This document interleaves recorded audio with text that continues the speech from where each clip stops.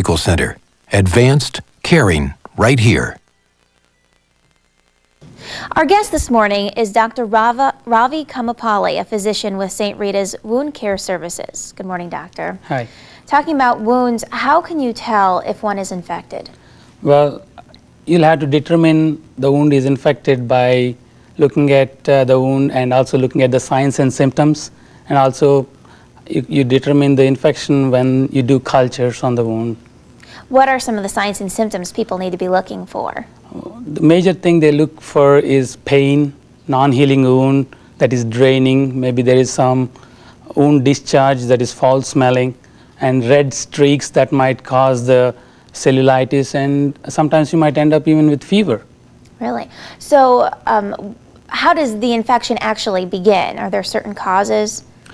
Um, I, I, there are two major things that you have to look at. Uh, the first thing is the bacterial causes, and the causes might be the human factors.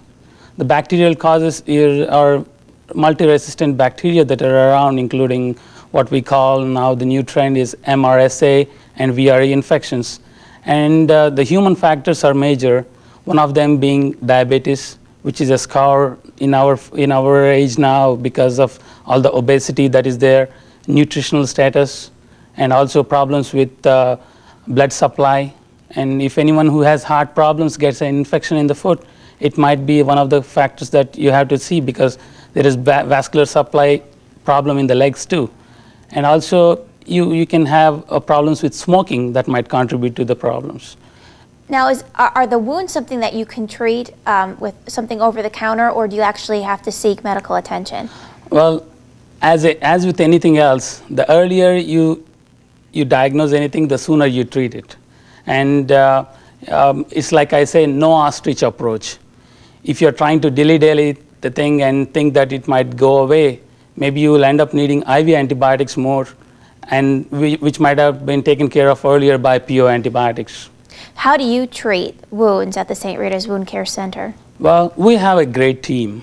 Uh, the whole approach to wound care in uh, our center has been uh, team oriented. We have physicians who are uh, board certified in their fields of care, and we have good nursing staff who take care of their people with loving, loving hands, I should say.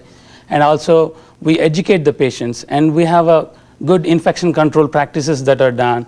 And all, we do appropriate tissue cultures, not simple dinky swabs that don't give the right, uh, I should say, right uh, micro microorganisms that uh, help us uh, diagnose and treat.